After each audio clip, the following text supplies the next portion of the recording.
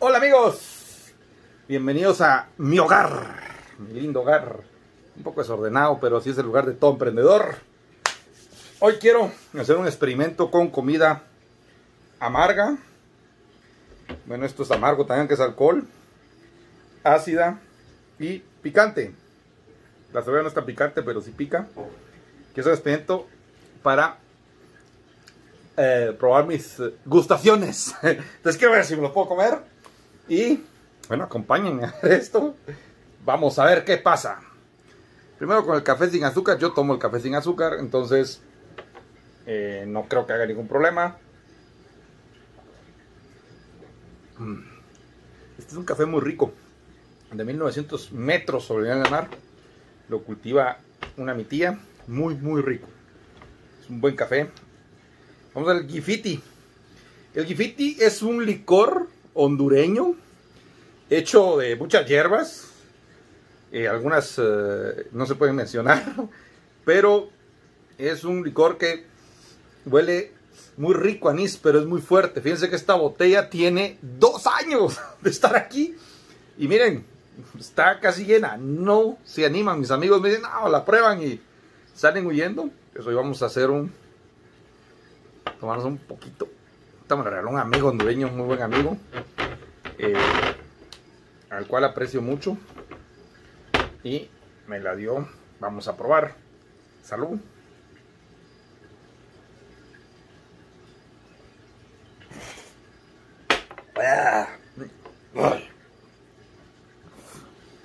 De probarlo. Tengo mi amigo holandés que se lo toma sin hacer caras, pero yo no puedo.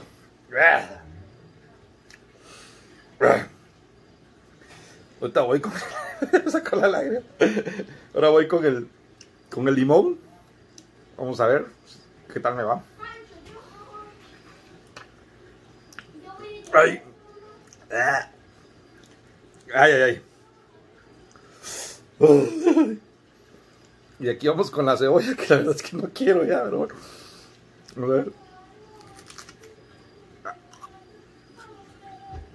ver. Ay.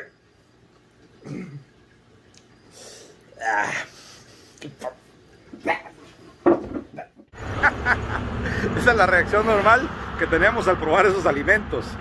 Lo ácido, lo amargo, el alcohol. Esas son las reacciones. Hasta mí yo me río de mí mismo. Óyeme, ahorita vamos a hablar una fruta que es especial, que es eh, como que hace el milagro de cambiarte el sabor. Así que acompáñame.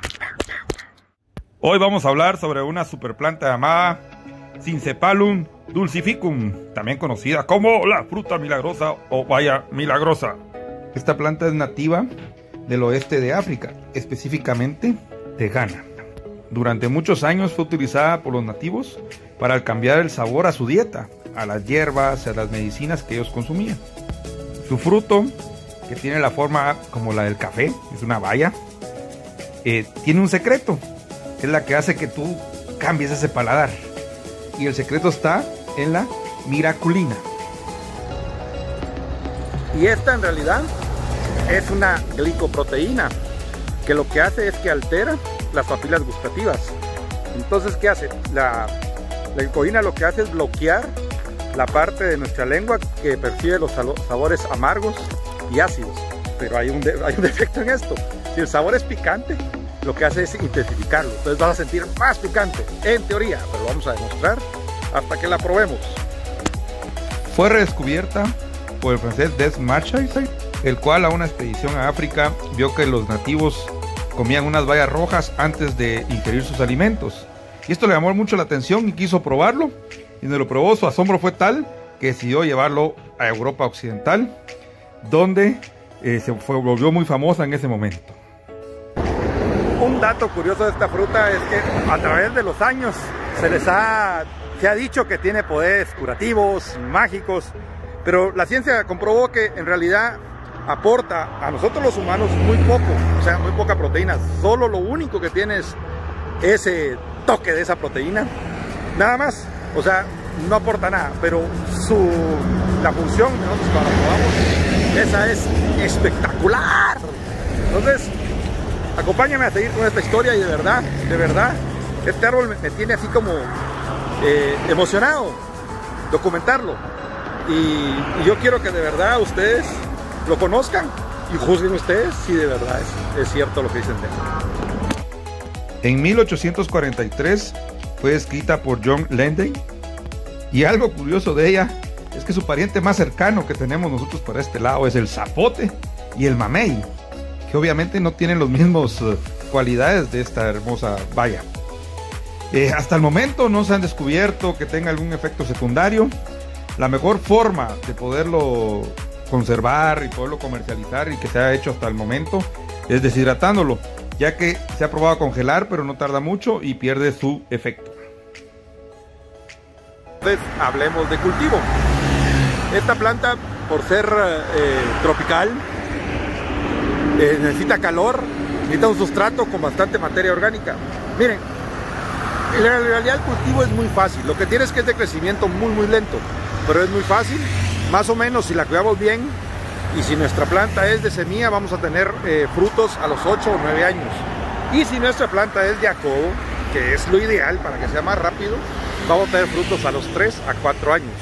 Entonces, lo que tenemos que hacer es buscar un sustrato drenado, pero con bastante materia orgánica y buscar una, un lugar cálido, no tolera fríos, no tolera heladas, es de un lugar, eh, son de lugares trópicos, entonces necesitamos calor y mucha luz, pleno sol, no es de sombra, muy fácil de cultivar y muy sencillo. Y antes de seguir, ¿qué tal te ha parecido esta planta? ¿Habías escuchado algo así? ¿O algo otra? ¿O conoces otra planta que tenga este efecto? ¿O algo que podamos para experimentar en un futuro? Sería genial que me lo contaras ahí en, los, comentarios. Porque, mira, obviamente tiene su, su explicación científica, por qué lo hace, cómo lo hace, como te lo hablé anteriormente en el video. Y, pero eh, así, antes que la gente pudiera conocer, pues imagínate esa gente de África que la usaba para para rituales, para, para eh, poder comer eh, ciertas hierbas que eran muy amargas, que eran medicinales en ese momento, que era su uso para lo que fue, para lo que usaba en ese momento. Em, pues imagínate si hubiera otra planta así, eh, puede ser que haya otra en el mundo. Entonces, para, antes de seguir, yo quiero agradecerles por todo, por haber llegado hasta esta parte del video. Y de verdad, gracias amigos. De verdad, el video anterior que no decía nada más que era una presentación eh, tuve muchas eh, palabras de aliento, obviamente tuve muchas críticas, pero ya hemos aprendido que cuando te critican es porque algo bueno viene, así que eh, les agradezco de verdad. Y bueno, sin más que decir, yo digo que nos vamos al experimento. Vamos a probar si de verdad funciona, porque yo en realidad nunca la he probado, aunque la he cultivado, ¿eh? pero no, la, no la he llevado a la fase experimental y hoy lo vamos a hacer. O sea que ahí vamos. Muchas gracias. Para hacer el experimento que vamos a hacer ahorita, esta es una valla o un fruto de la fruta sagrada.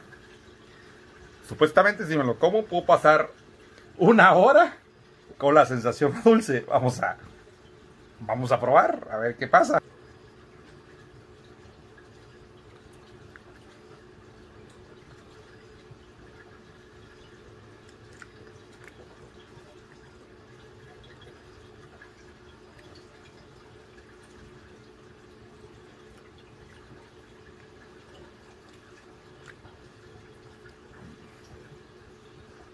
un sabor como a... No se han probado los jocotes. Un fruto de acá de Guatemala, México, en Centroamérica. Un sabor como jocote o un mango medio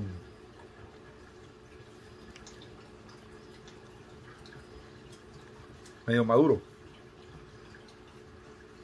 La semilla Bueno, no siento nada. Estoy algo incrédulo con esto, ¿eh? Bueno, vamos a, probar. Vamos a ver.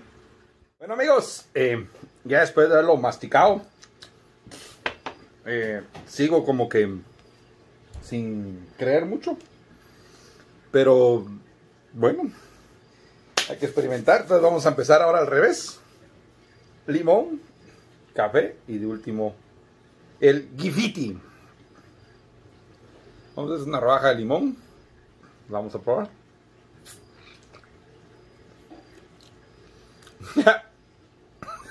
¡Oh, caray!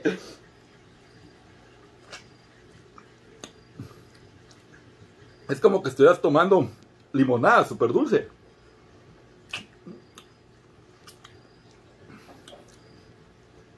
¿Y qué tal, qué tal será morder la cáscara? Mm.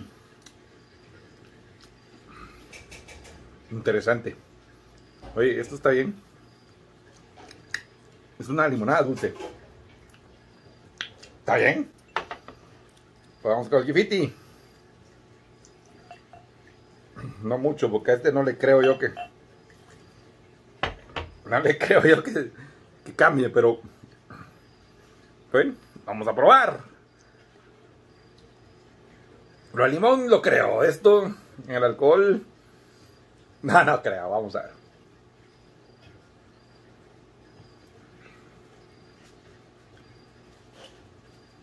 Wow. Muy bueno. Si no fuera porque te quema la garganta que va cayendo, ¿no sentís que es alcohol? Ufale, qué borrachera nos va a poner ahora. Gifiti, te logré domar.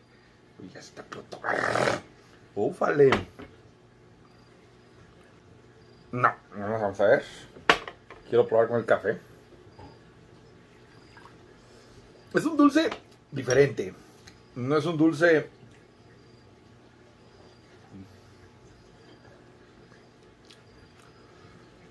Sí, el café sabe como café con azúcar, pues. Eh, el limón como limonada y el gifiti como que fuera. Como que fuera fresco, no sé, no sé cómo describirlo. Pero no sentís el alcohol, no que sentís como No, no se puede explicar, pero es tomable. Creo que me tomaría cualquier licor con eso. Por aquí voy con la cebolla. La dejé de último. Esto sí le tengo miedo. Ay, cuando empecé esto, pasa como media hora. ¿Qué voy?